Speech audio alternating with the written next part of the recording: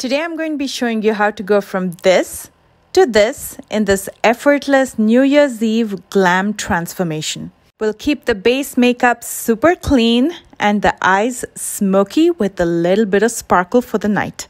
So if you're ready, let's begin.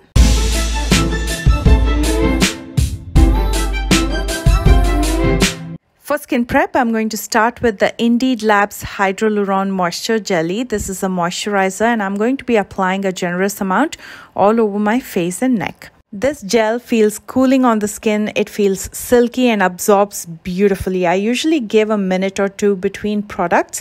So I'm going to wait till this is completely seeped inside the skin before I use anything else over it. And to prep my lips, I'm going to be using the Hydraluron Tinted Lip Treatment in red. For around the eyes, I'm going to be using the Silk Peony by Tatcha. This is a melting eye cream.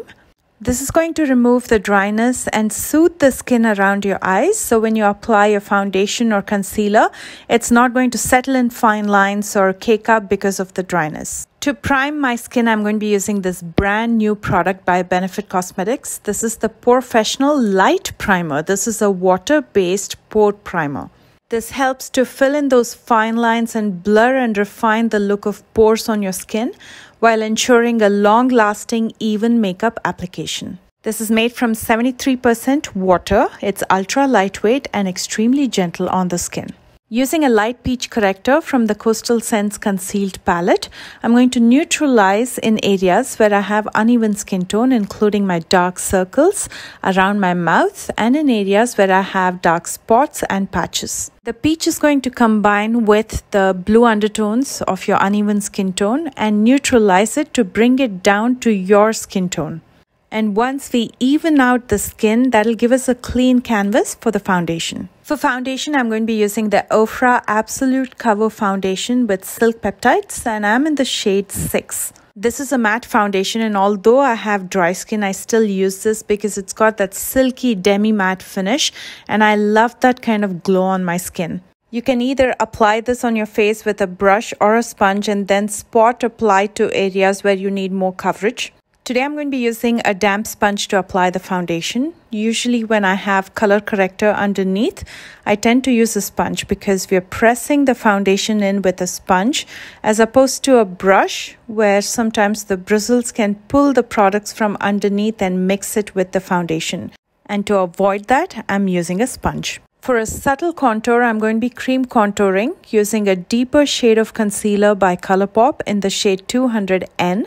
And I'm mostly going to be using this around the circumference of my face, in the hollows of my cheekbones, in my jawline, as well as to contour my nose. And to blend it out, I'm using a flat top kabuki brush. This one's from Docolor.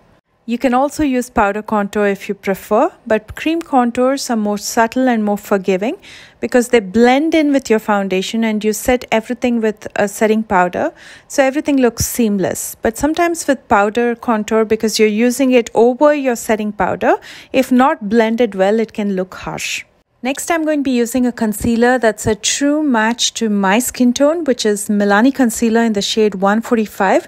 I'm going to be using this to conceal some of those dark circles that are still visible and also those patches around my mouth. Although color correctors can neutralize everything and bring everything to one skin tone, Sometimes they don't have enough coverage and for that you will need a concealer. And when you use a concealer to conceal, try to use something that's a true match to your skin tone. That way it doesn't mix with the undertones and give you an ashy look. After you've concealed, you can use a lighter shade of concealer to highlight the high planes of your face. Here I'm using the Milani concealer again, but in the shade 135, which is a lighter shade than my skin tone. And when I usually go lighter, I go about two shades lighter than my skin tone. Applying lighter shades in the high points will attract more light in those areas, giving a more structured look to your face.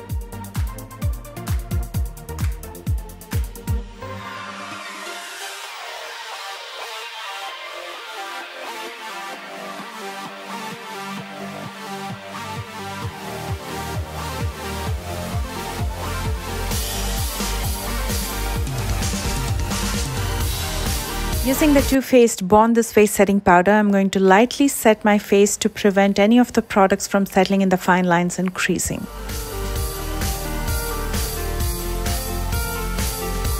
And then to lock the base makeup to prevent it from moving, I'm going to be using a setting spray.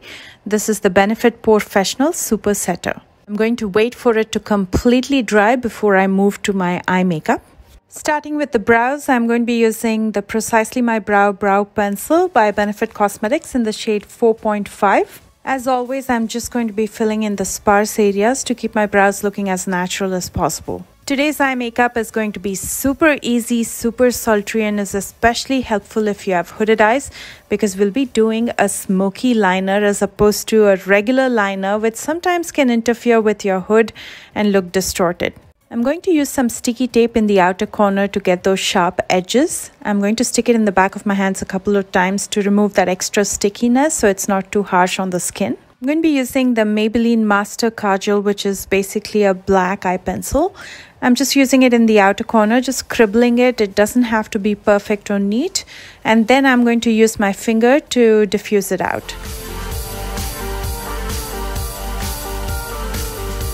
To lightly set this, I'm going to dip into Antique Silver from the Bare Minerals Treasured palette. With the E28 brush from Rose Beauty, I'm going to lightly set this by dabbing over it.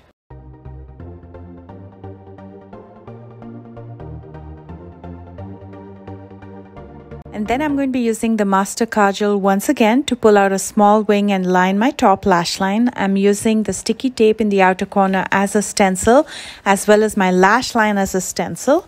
And then using a small angled brush, I'm going to smudge this to get that smoky effect.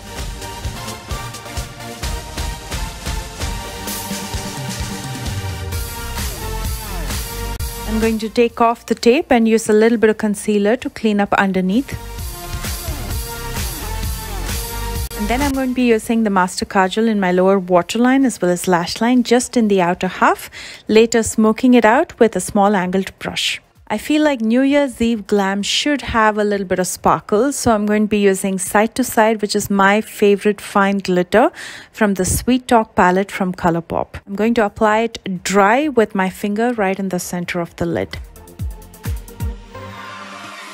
Then using Moonstone, I'm going to highlight my brow bones and inner corners.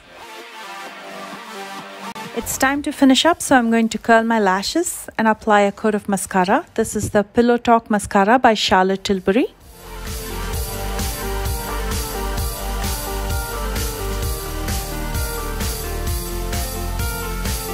And for lashes, I'm going to be using the Good Lashes in Infinite 1. Of course, you can always stop at mascara if you're not comfortable with lashes, but I want to give you both options. I'm going to finish up this eye look with a coat of mascara to my lower lashes. And here's the completed look. Super easy, super sultry, looks beautiful with that sparkle right in the center and gets done so quick. It's time to finish the rest of the face to reveal the completed look. I'm going to start with the bronzer. This is the Charlotte Tilbury Film Star Bronze and Glow palette. I'm going to be using the bronzer to warm up my face.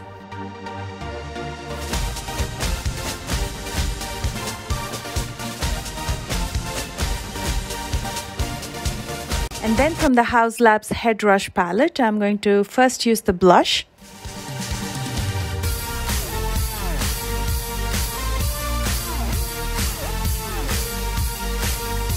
Then right above it, I'm going to add a little bit of glow with the highlighter.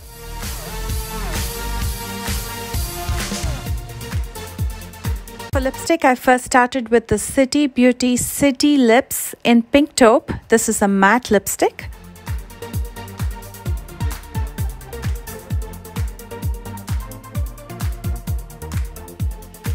And then I went over it with this glossy lip again from City Lips in Crimson. This is a plumping lip gloss, so you do feel the tingle as soon as you apply it, but it's very subtle. At the same time, you know that your lips are getting plumped. And here is the completed look. I love this look. I find it so classy, but I'd love to hear from you. So let me know in the comments section. Would you wear it? And if you enjoyed this video, please don't forget to thumbs up. And if you're new here, please consider subscribing if you'd like to watch more videos like these. And do check out the description box for all the products that I used today, along with my social media links in case you plan to follow me there. I love you guys so much, and I will see you soon with a brand new one. Bye, guys.